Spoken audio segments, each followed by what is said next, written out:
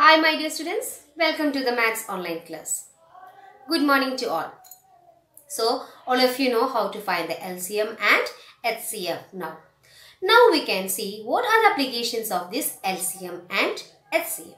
In today's class, we can discuss some word problems regarding LCM and HCF. Where we have to find the LCM and where we have to find the HCF. We can practice some example questions in today's section. First question. Renu purchases two bags of fertilizers of weight 75 kg and 69 kg. Find the maximum value of weight which can measure the weight of the fertilizer exact number of times. So here what is given in the question? Renu purchases two bags and the weight of two bags are given 75 kg and 69 kg. We need to find the maximum value of weight which can measure the weight of the fertilizer exact number of times. So first we can write what all things are given in the question. What all things are given in the question?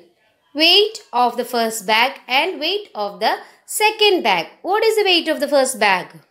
So from the question, the weight of first bag is 75 kg and weight of second bag is 69 kg. Now we have to find the maximum weight of each measure which can measure the bags exact number of times. So maximum weight we need to find. So for finding the maximum which we can find HCF or LCM. What is HCF? Highest common factor. What is LCM? Lowest common factor. Sorry, common multiple. So for maximum weight which we need here we need maximum that means greatest or highest. So which we should find? Ah yes HCF. We have to find the HCF of the weight of the two given bags. What is the HCF? That is the maximum weight. So we can find the HCF. So how we'll find the HCF of 75 and 69? We are finding the HCF by prime factorization method. Here I am prime uh, prime factorizing both the numbers by division, common division method. So first look out in 75 and 69 which is the common factor. By applying the divisibility rule we can see that 3 is common in 75 and 69. Now when I dividing 3 with 75 I got 25 and 69 23.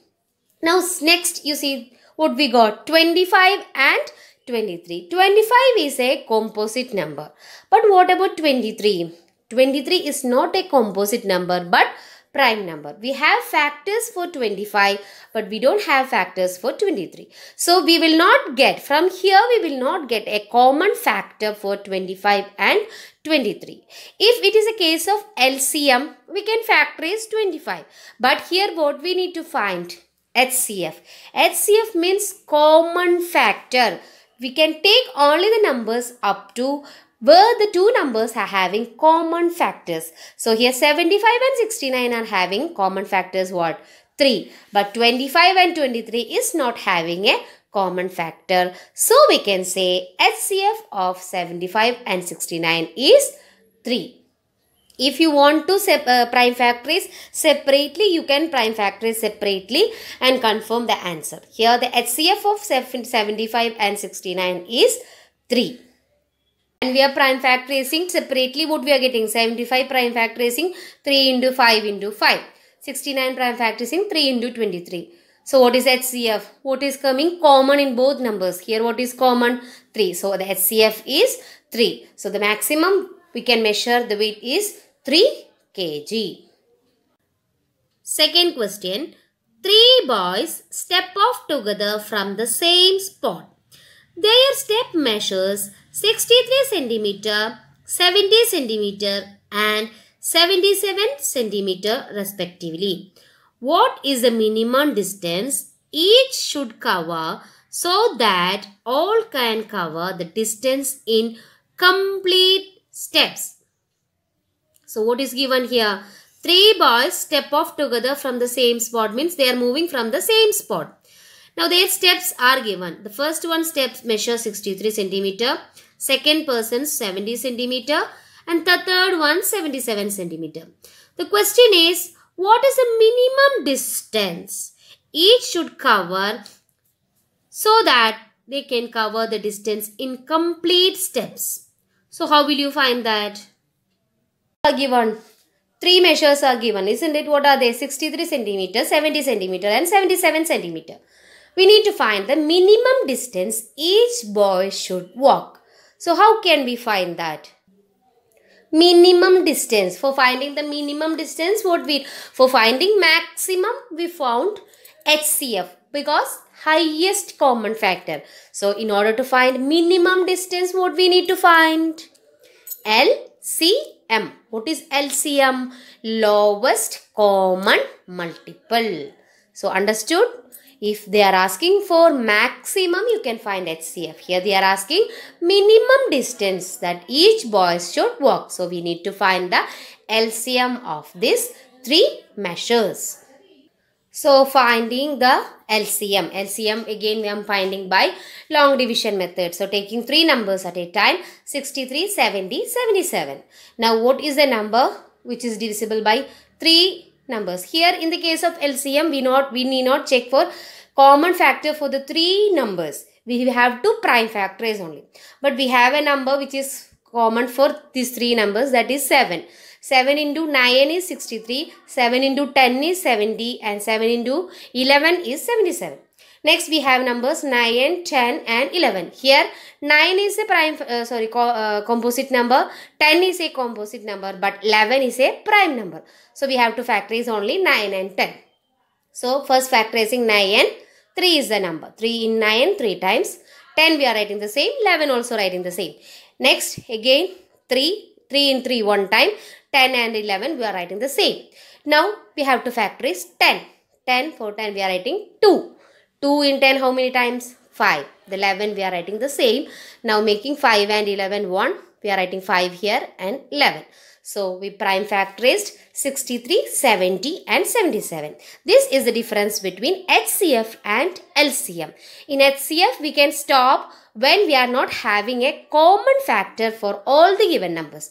But in LCM, you have to continue till we factorize all the given numbers. That means the last step, all the numbers should be 1.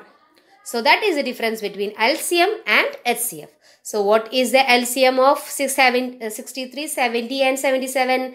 7 into 3 into 3 into 2 into 5 into 11 which gives you 6930 centimeter. So the minimum distance each boy should walk is 6930. Now this distance 6930 each boys can cover in exact time. So what that that, that means this 6930 is divisible by 63, 70 and 77. Next question. Find the least number which when divided by 6, 15, 18 leave remainder 5 in each case. So what is the question here? We need to find the least number. What is the condition? When that least number is divided by 6, either 6, 15 or 18, we should get a remainder of 5. So how we will find that? Here they are asking for the least number. So if they are asking for the least number, what we will find? LCM. If we are finding the LCM of 6, 15 and 18, we'll get a number which is divisible by 6, 15 and 18. But here the question is, this, it should uh, leave a remainder 5. So first we can find LCM. So we found the LCM. What is LCM? 6, 15 and 18. You know 3 is a common factor. So dividing throughout by 3, 6 in 6 2 times, in 15 5 times, in 18 6. Now 2 and 6 will be having common factor. So I took 2 here. So 2 in 1, 5 we are writing the same, 6 in 3. Now both are prime numbers. So we can factorize 3 in 3 one time, 5 in 5 one time. So we found the LCM. What is LCM? 3 into 2 into 3 into 5. What is that? 90. Now what is LCM?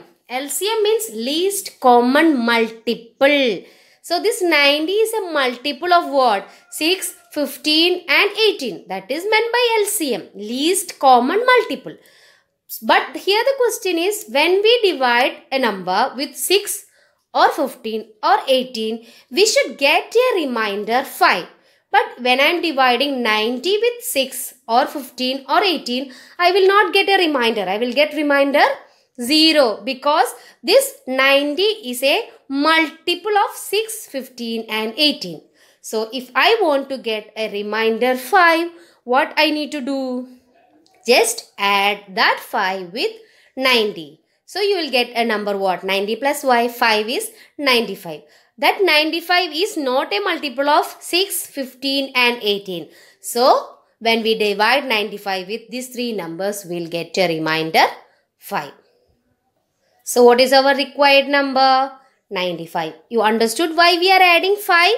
Because 90 is a multiple or divisible by 6, 15 and 18. If I divide 90 with 6 or 15 or 18, we will not get a remainder.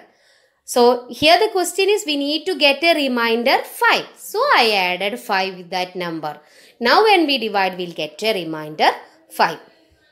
Next question. Find the smallest 4-digit number which is divisible by 18, 24 and 32. Here the question is, we need to find the smallest 4-digit number which is divisible by 18, 24 and 32. So first we can find the smallest number which is divisible by 18, 24 and 32. How we will find? By finding the LCM. So by finding the LCM, what we got? Factor prime factorizing we got 2 into 2 into 2 into 2 into 3 into 3 into 2. What is that? 288. So the LCM of 18, 24 and 32 is 288. What is the question here? Find the smallest 4 digit number. We they need a 4 digit number but we got here what? 288. So how we'll find the 4 digit number? You know 288 is divisible by 18 and 24 and 32. So in order to get 4 digit number, just check the multiplication table of 288 which is the smallest 4 digit number coming in the table of 288. That is the required answer. So when we check the table of 288, 288 into 1, 288, 288 into 2, 576, again into 3 you will get 864, into 4 you are getting 1158, into 5 you are getting 1440. So we got a 4 digit number here. In this, which is the smallest 4 digit number, 1152. Now from here onwards you will get 4 digit numbers. But here we need the smallest 4 digit number. If they are asking for the greatest, we have to check for the greatest 4 digit number. Here they are asking for the smallest 4 digit number. So which is the smallest 4 digit number? 1152. So the required number is 1152. So the required number is 1152. Have you got it? We found the LCM what? 288. So the least number which is divisible or the common multiple of 18, 24 and 32 is 288. Only this 200 uh, below this number you will not get a common multiple for 18, 24 and 32. But here the question is we need a 4 digit number. So we are checking for the table of 288. In 288's table, the smallest 4 digit number is 1152. Question. Determine the greatest 3 digit number exactly divisible by 8, 10, 12. Here by seeing the word greatest, don't think that here we are finding the HCF. No, here we are finding the LCM itself in the previous question we said smallest 4 digit number. In similar way we need the greatest 3 digit number. For that reason only they have given the greatest there. So here we are, we are finding LCM because we need the exact divisible of 8, 10 and 12. So we can find what is LCM of 8, 10 and 12. LCM of 8, 10, 12 when prime factorizing we are getting 2 into 2 into 2 into 3 into 5. What is that? 120. Here we got a 3 digit number. The question is greatest three digit number. So we got a three digit number but we need to confirm that this is this is the greatest number or not. For confirming what we need to do, take the table of 120 and check which is the greatest three digit number coming in the table of 120. By checking the table of 120, 120 into 1 is 120, into 2 is 240, into 3 is 360, into 4 is 480, into 5 is 600, into 7 is 720 and sorry into 6 is 720 into 7 is 840 into 8 is 960 into 9 we are getting 1080 so from here onwards we will get a 4 digit number. So this is the last 3 digit number. So by comparing all the 3 digit numbers which is the largest 3 digit number 960. So we need the greatest three digit number, isn't it? So if we need the greatest three digit number, what will be the greatest one? 960. So the required number is 960. So the required greatest three digit number is 960. Here why we are finding the LCM you understood isn't it? By seeing the word greatest don't get confused that we need to find the HCF. No here they are asking the greatest three digit number that greatest is only meant for the three digit. So here we need to find the LCM. So first we found the LCM. So we got 120. Now they are asking for the greatest three digit number. So we have to confirm whether 120 is the greatest number. So for that we check the multiplication table of 120. So from here onwards it will be 4 digit number. So we can say that 960 is the greatest 3 digit coming in 120's table. So the required greatest 3 digit number is 960. So in today's video we discuss some word problems on LCM and HCF. In your textbook there are some more extra problems. You try to work out by yourself and send me your answers. Now by this class, our third chapter, Factors and Multiples, have come to an end. The chapter, Factors and Multiples, have finished. Copy down the notes given and attend the test paper given.